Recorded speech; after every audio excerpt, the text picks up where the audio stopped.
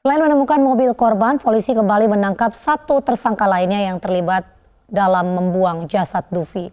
Saat ini polisi masih mengincar satu terduga pelaku lainnya yang membawa kabur mobil milik korban hingga ke Lampung.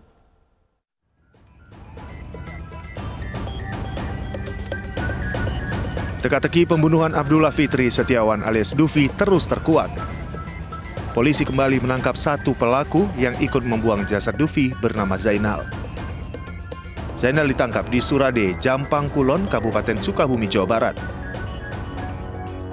Berdasarkan pengakuan dari pasangan pembunuh Dufi, kejahatan tersebut dilakukan karena motif ekonomi. Dufi dieksekusi agar pelaku bisa memiliki mobil korban. Rencananya mobil tersebut dijual untuk menutupi kesulitan keuangan mereka. Dari pengakuan kedua pelaku, pembunuhan telah direncanakan malam sebelum eksekusi. Dufi diketahui tewas dengan dua kali bacokan senjata tajam yang dilakukan sang pelaku pria di rumah kontrakan pelaku.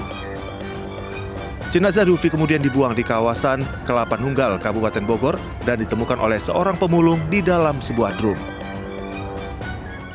Malam hari dia telepon, Kemudian ya telepon sama istri siapa yang telepon? Pak Dufi, Pak?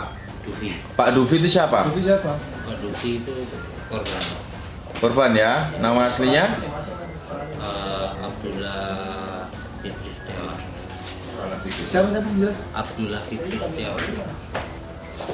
Terus? Ya, dia, dia mengabari kalau hari Jumat dia akan datang keterangan. Kemudian? pagi hari gitu kan terus pada saat itu kan istri bilang nih gimana sebelum apa kalau sebelumnya kalau misalnya kayak ini kita game aja gimana Yang bilang kita gap aja siapa? ya selama dia Loh, siapa kalau sama dia? Nggak bisa dong bebarengan. saya yang bilang Kamu bilang, Ya. saya mau gap. kayak begitu aja gitu Ah. ya, gitu. Gap itu maksudnya apa? Maksudnya kita celakain aja pak kalau ya dia telepon jam-jam segitu jam 11 dia telepon Hmm. telepon bilang mau ketemu mbak Ah. Gitu ya besoknya Iya. janjinya itu jam berapa Jam mau ketemu tiga. jam 3 ternyata dia datangnya mbak Kalau- menanyakan dulu hari Jumat kepada dia Ah. jadi nggak datang Ah, betul ya dari melalui pesan WA WA Hmm. ya kan kemudian dijawab apa Eh, jadi tapi nggak sore Jadi sore? Ah, Sore. aja. karena sore ada Oke. rapat.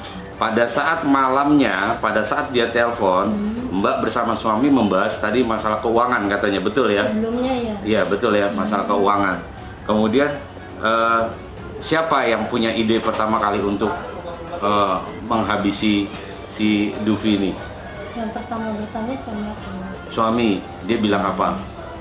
pokoknya saya aku di gap Oh, gitu di gap. oh cuman bahasanya di gap mah apa mau kita gap mah itu aku nggak ingat pokoknya Mau kita gap si Ah. Dufi. maksudnya bahasa Iya, bahasa Ya, dia bahasa- mau kita gap si Dufi Hmm. untuk keperluan menutup keuangan kalian berdua nih. Ya, tapi nggak sepanjang itu ya Saat ini polisi masih mengincar satu terduga lain yang terlibat membawa lari mobil almarhum Dufi. Tim Liputan iNews melaporkan.